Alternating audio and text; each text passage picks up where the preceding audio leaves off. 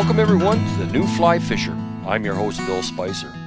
On today's show, our cruise in Newfoundland, and our quarry is Salmo Salar, or it's commonly known as the Atlantic salmon. Anglers from all over the globe come to these pristine waters for a chance at these acrobatic fish. We'll talk about equipment, technique, flies, and special regulations. It's going to be a great show, so stay with us. We'll be right back.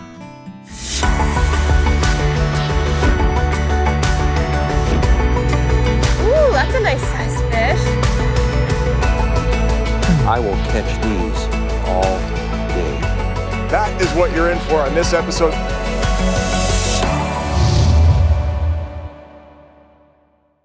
On today's show, we've flown into Deer Lake, Newfoundland, where we were picked up by Cog Pelly, owner of Island Safaris, situated a short distance from the town of Springdale.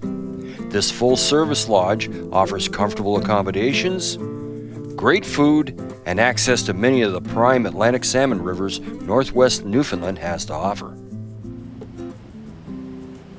Uh, generally, our, our best weeks are, uh, you know, in the in July, the first week or so of July, then late June. Uh, that last few days in June seems to be fairly hot, but uh, July, uh, once the fish get in the river and get settled down, it's July. The first three weeks in July are probably our best times, but we have fish here right up till the middle of August, you know. Indian Brook is an absolutely beautiful place to fish, but after a half a day of angling, we realized the main run of salmon were late in coming in. So we got in our truck, drove a short distance to one of the many other excellent salmon rivers in the region. Our next stop was the famous Humber River.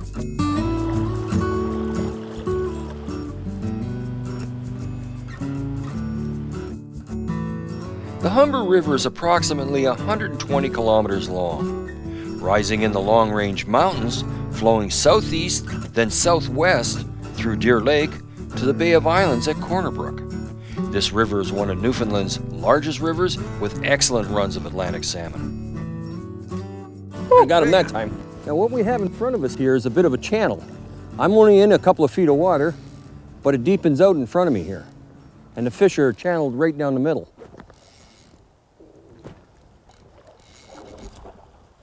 And it's a grilse. They're not, it's not real big. Oh, and the fish won that time. That's just the way it is, Atlantic salmon fishing. You, lots of casting, eh, but the rewards are great. Well, you kept my fly, so uh, that time the fish won. Too bad. Try again. Try again. That's a good sign. Oh yeah, it's That's a good sign. Technique of swinging a fly properly is pretty much a do-nothing technique. Simply cast at a 45 degree angle across and downstream and allow the current to form a bow in the line that looks like the letter C. Allow the line to swing out through the current until it's straight below you, then pick the line up and repeat. Every couple of casts take a step downstream, repeating this until you've moved through the pool. Adding a Portland hitch to the fly will cause it to wake as it moves along the pool. This is desirable. Yeah. Man, he attacked that, didn't he? Oh, this one's I likes. Wowee. Yes, sir. Oh, that's a little oh, better fish, yeah. He's, he's a nice fish. He's going for a run. I say he's pretty close to 60 centimeters. Oh, good. Good. Gotta love it. Gotta love it. now, the wind has forced me to do back casts out there. We got a pretty good downstream wind going right now, and it's uh, really messing up my casting. All right, yeah. Yeah. And away he goes, yeah.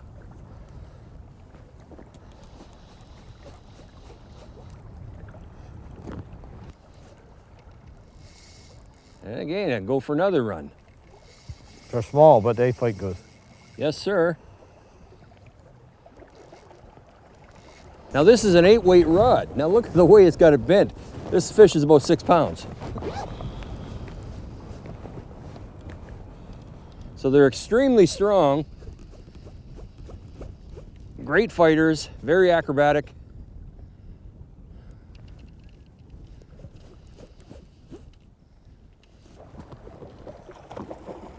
All right.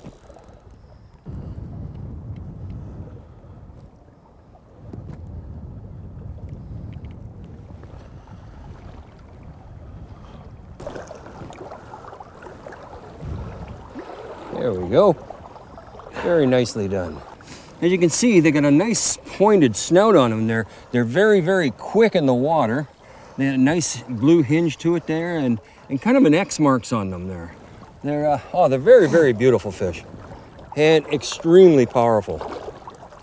Yeah, There's some upstream there.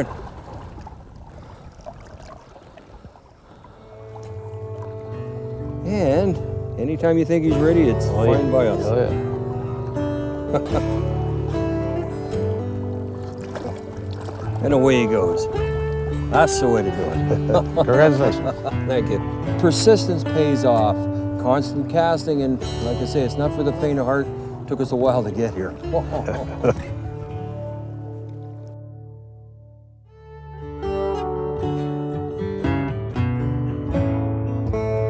There are times when you're going to encounter other fishermen in a popular area. It's been my experience that when there is a significant number of fishermen, the fish will congregate above the group of anglers and below the group. I've had very many successful days with other fishermen nearby simply by moving above or below them. this was a, a long time coming. We rose this fish a few times and he's staying down. Yes, sir. Oh yeah, very acrobatic, these fish. He ain't gonna be ready for a minute. Have fun with them. Yes, sir. Fresh fish coming in there all the time when you. Yeah, the fish are, are moving in and past us, but then we got fresh fish coming in constantly. Beautiful, beautiful. I love it. No life like it. That's true. That's true. But he's not bad. No. He's not quite ready, I don't think. Okay, I'm right into my leader now. And now what I'm gonna try to do is walk the dog over to Nelson.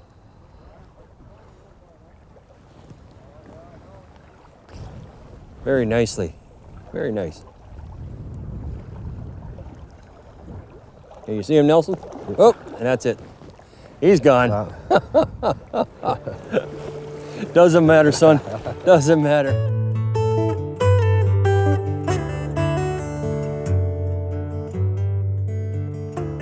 Rods and reels you're going to need for Newfoundland and Atlantic salmon fishing are number eight weights.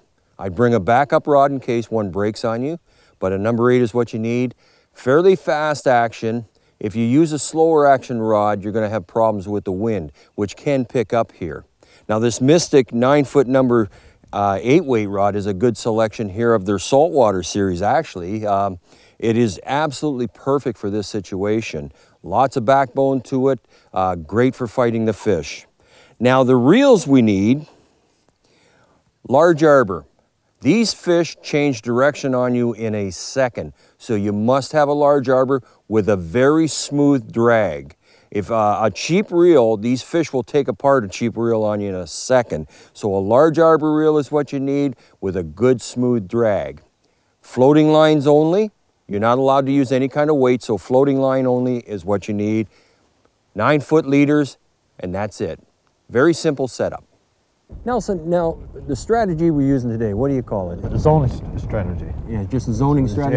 Yeah, yeah. So what, what does that mean in, in, in essence? Well, you, you start out with short line. With a short line, You- you wo- work so your- you know, right close to you and, and swing Yeah, it? you're right, right close and just swing it and, and move out short line at a time. So uh, two- you two you were telling me like a one or two Yeah, feet, you pull one, off the line, Yeah, like that. cast again, Cast again and do Let it swing? Let it swing. a couple of times. Yeah.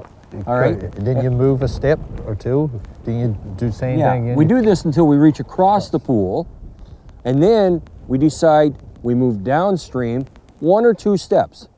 And what that does is we take apart the zone in front of us, and then as we move down, it swings in front and we can zone all the way down through the pool. Now this is only practical when you, you have room to do it. In some cases, when you have a lot of people around you, you can't and you have to live with what you have. But today we had the room and we worked the zone behind us. Nelson was right on every time he seen a fish, so we had good success today by using this zoning method.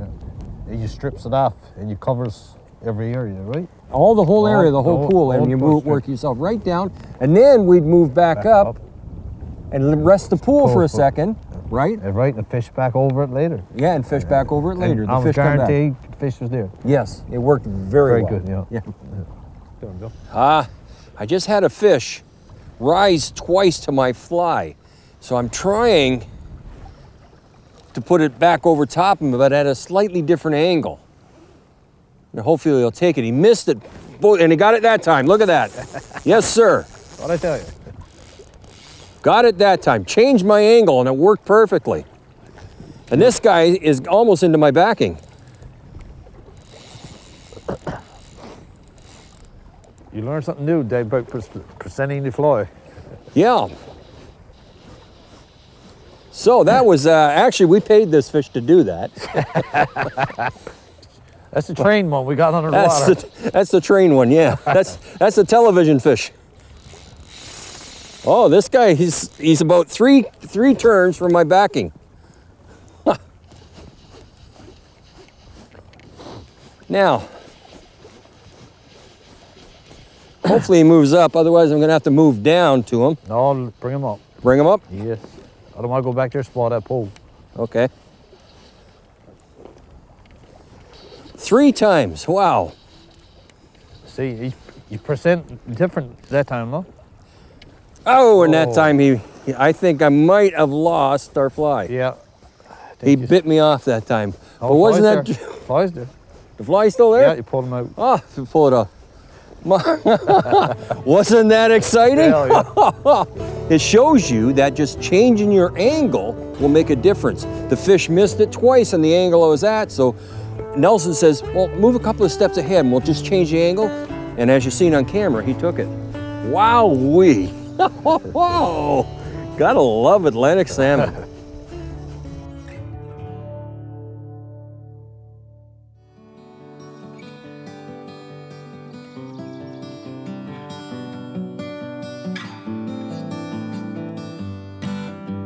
Our setup for today is simple due to special regulations.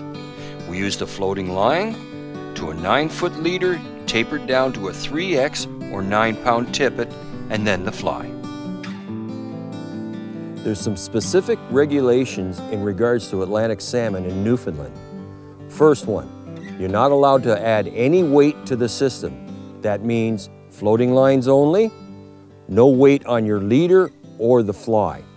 The second, you must crush the barb on the hook. They're very strict about their barbless hooks here.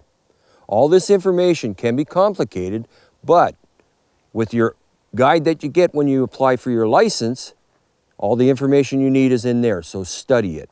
It's very important. I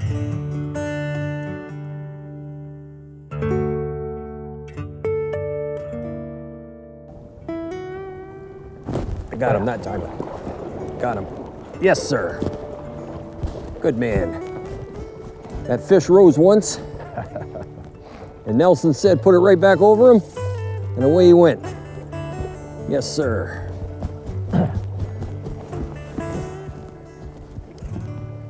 We stopped to had a bit of bite to eat, gave the pool a rest, and we've got some fish moving back through again. This guy's running right at me, and I know he's gonna go crazy in a minute.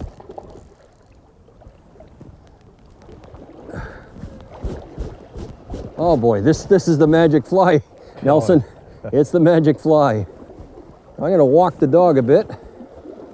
He's probably gonna go for another run. Get him over into shallower water where we can control him better.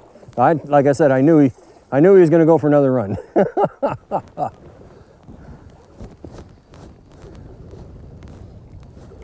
this is Atlantic salmon. They don't come in that easy.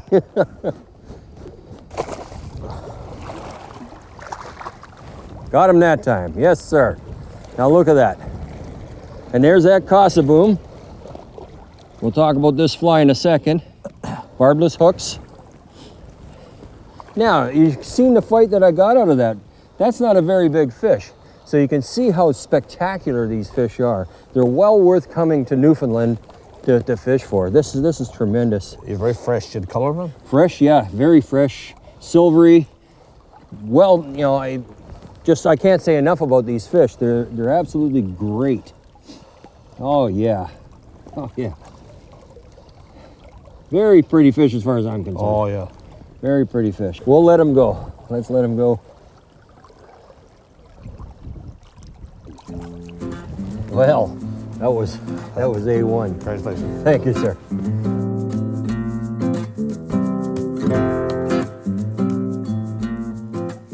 Variety of flies were used during this trip, with the most effective being orange bombers, black bear green butt, green highlander, and the most effective, the blue charm.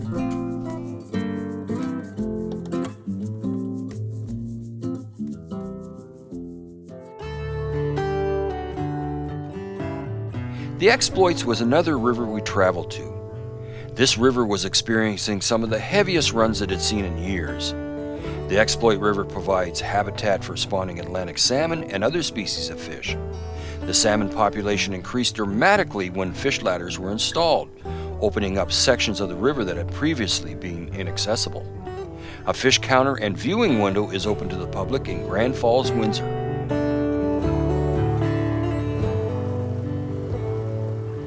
Now I've been having a little trouble stripping my line in and just letting it hang in these rocks that I'm on. As you can see, it gets hung up in the rocks. I've been stepping on it, trying to cast, and, and it catches on a rock and just doesn't do what I want it to do. So what I've had to do is manage my line. When I strip it in, I'm folding it over and curling it up into little rolls in my left hand and holding it, like so. When I get enough in and I figure I'm gonna cast, I hold my line like this, I cast, and when I let go, I simply allow the line to curl off my hands. It's not a hard technique at all, but it's hand management with your line. Allowing it to go on the, on the, on the ground like it was, was catching up too much. Uh, yesterday I could get uh, away with it because I was in the water. Today I can't. The Exploits River can be treacherous in spots, so extreme caution should be practiced when visiting this river. Oh yeah. Yeah, the old faithful, yeah. It's good fish too. Yes, sir. That one was completely unexpected. He wasn't in the spot I thought he was going to be, but they can be anywhere. This one I can see down there now. we had no light before, uh, but the sun's come out. It's getting kind of warm. I was surprised this fish hit, actually. Oh, yes. Very powerful fish. Got to depend on your drag a lot. I think I might be a little tight, so I'm going to loosen it off a bit. I want them to be able to fight the reel and the current. Yes, sir. Now there was no doubt about this one. He come up and whoosh, took it nicely. Oh yeah, you want to might want to get down there, yeah. There. There's no barb on that. I, No, it's not. No. there we go. Beautiful fish. Gotta love it. All along here, again, nice bullet face on it, built for speed, power and speed. So let's get him back in the water before he gets hurt. Oh, boy, that was good. Oh, uh, congratulations. Thank you, sir. Thank you, sir. Oh, that was good. Well, I'm going to try that again. I'm going to check my leader and make sure that there's no nicks. He fought pretty good, but that was a voracious hit, just up and down, gone. Oh, great. Thanks for the tip. You told this is the fella here, a local. here, shake your hand. He told me I was fishing over the fish, so we had to fish closer. And there's a bit of a hole right here, and he was exactly right. So listen to the locals too when you come around. During our lunch break, I asked Nelson if he would like to show me how it's done. he gladly obliged. Excellent. Now, Nelson, he was on the swing when he grabbed it? Yes. He was on the swing? On the swing on C. Now, what Nelson means by the C is the, the, the shape of uh, the letter C in the, in the line on the water. Oh, he's running on you. huh? He's a big fish. This is a good fish, huh? Oh, yeah. Real All nice, right. Real nice.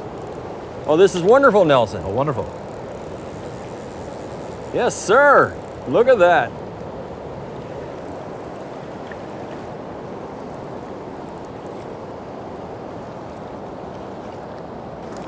Good. We got him. He's shiny, eh? He's shiny, and look where the Oh. look where the hook is. Yeah. Just now, came Nelson, I'll get you to pop that hook out. Yes, sure. Oh. Let's see. Okay. Oh, yeah. No, he's not that big, but it's, it's a very nice Atlantic salmon. Nice color. Yes. Blue fins. Looks fresh, Oh, it's real fresh. kind of silvery looking. Yeah. Oh, nice fish. Just six pounds. There we go. Yeah, it's about six, I would think. Whoa! I didn't want to go away. and I got a shower. Thank you, sir. Thank you. That was that was great. That was great. Oh yes. Ah. Having a good day on the exploits, Yep. Well, I've had an excellent few days of Atlantic salmon fishing with Island Safaris. I want to thank my guide, Nelson Prouse, and Cog Pelly for a very enjoyable trip. If you want to learn more about this location or the patterns we use today, visit us on the web at thenewflyfisher.com. From all of us here at The New Fly Fisher, thanks for joining us. Tight lines, and we'll see you soon.